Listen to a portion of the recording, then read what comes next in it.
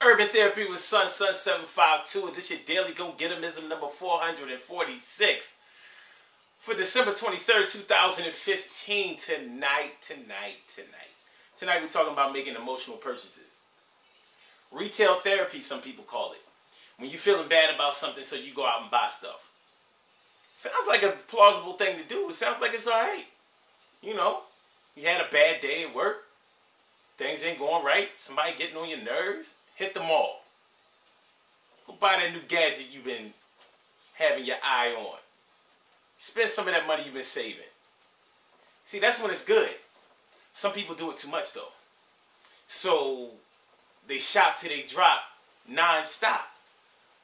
Shop till they drop. Do it non-stop. soon as shit come out, they about to cop. But no, it don't want to real. You know, when you when you are feeling down or whatever, or when you compensate for the things in your life that aren't going well with material items, it's a slippery slope. And it's a road to nowhere because you wind up putting yourself in debt a lot of times. See, it would be different if all the stuff that you buy, you buy buying with cash, but that's not normally the way it goes. The way it normally goes is that we are using those credit cards. Sometimes we order more credit cards. We have store credit cards, and you know the interest rates on those store credit cards be high, man. So after you finish buying all this stuff, the question that needs to be answered is has it remedied the problems that made you go out and buy stuff in the first place? Certainly, in more serious situations, taking it relationship wise, if you break up with somebody that you were deeply in love with, yeah, you can go out and buy a new car if you want to. It's not going to fix nothing. It's not going to fill the void that's left in your heart. It's just not going to do that. Sure, you be whipping for a minute. You know, what I mean, you might like the ride or whatever. But if you think about it, those are the actions of a crazy person. Every time things ain't going right in your life, you you go out and buy something new. Think about it. That, that, it don't sound right. Even if you're the person that does it, if you look at somebody else doing it, you might be like, yeah, I do the same thing. But at the same time, you're thinking like, that ain't really right. I might need to check myself on that, you know?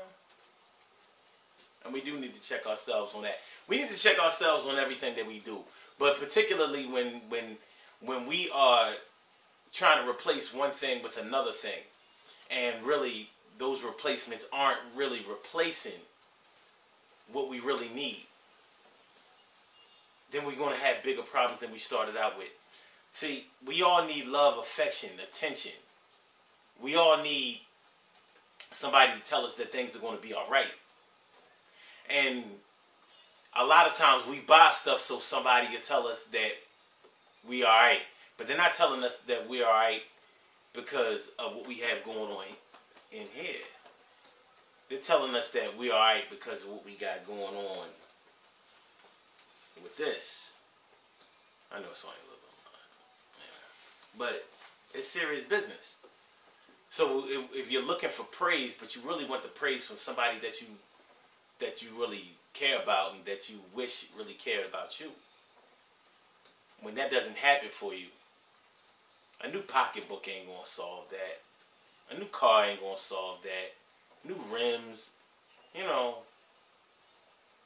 anything, any of that stuff that we buy, new iPhone 6, Samsung Galaxy 6, all of that stuff, it's not gonna it's not gonna fix what's really wrong.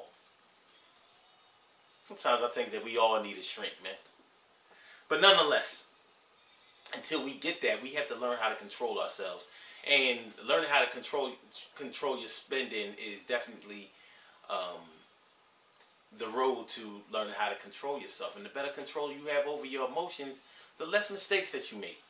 Because if you're already feeling bad about the way things are going on, going on in your life, you don't want to compound that by being in debt, digging a hole of debt that you have to try to climb your way out of, dig your way out of. You don't want to do that. Think about it. Anybody who has been through the credit wringer knows that Man, it's, it's one of the hardest things to get back together. That is the Humpty Dumpty egg that the horses and men the king's horses and king's men just can't put back together. Well, not easily anyway. It's tough. But you can avoid all of that, especially the second time. Because if you've gone through the credit ring and you still haven't learned how to, you know, keep your money in your pocket and your credit cards in your wallet, well, you got to admit that there's a bigger problem at hand. If you need love, man, go, go find love. Go find real love. If you need affection, go find real affection that's going to lead to love. You know, get the things that you want. Now, don't get me wrong. Ain't nothing wrong with having nice shit. It ain't. But there's really nothing wrong with being able to pay for that nice shit. Instead of just going out and, and saying, I ah, well, you know, I'll worry about that tomorrow. I needed this today. You know, we wound up having a garage sale of brand new shit. Because we done bought a whole lot of stuff that we couldn't afford. It ain't got to be that way. Find out the real problems that are going on in your life and stop trying to buy your way out of life. And if you want, I mean, buy your way out of your problems. And if you want to buy your way out of your problems, buy your way into some self-discovery.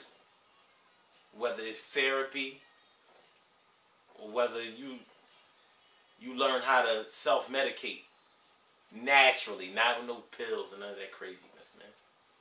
I know we all got problems in our life. We got to try to remedy them. Good things happen to those who wait. Great things happen to those who grind. And anything can happen to those who go for theirs. So go hard, go for yours. And remember, retail therapy is not the way to go. It's only going to land you in more debt. Try to identify the real problems that are going on in your life and take take baby steps. Baby steps to, to getting your, your, your train back on the track. And what I mean by baby steps is I mean things don't fall apart in your life all at once. And it's going to be hard to put them back together all at once. So if your life didn't fall apart all in one day, stop thinking that you can put it back together in one day because you can't.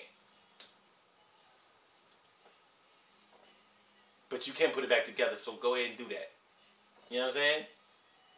I'm going to holler at y'all tomorrow. Oh, oh. The Take the Fall event. The Take the Fall event this Saturday. December 26th, the day after Christmas. Make sure y'all come through. Rittenhouse Street and Wissahickon Avenue, 10 a.m. And y'all know it's going to be live out there. Yeah, it's raining on them days leading up to that. But I know we going to be straight come Saturday. So make sure y'all come out and be straight with us, man. Let's have some fun. Again, because you know to take the fall event is that shit. Take the fall in the winter. Holler y'all tomorrow. You know what I mean? Don't go out and buy nothing extra. Probably already overextended for this Christmas holiday. Peace.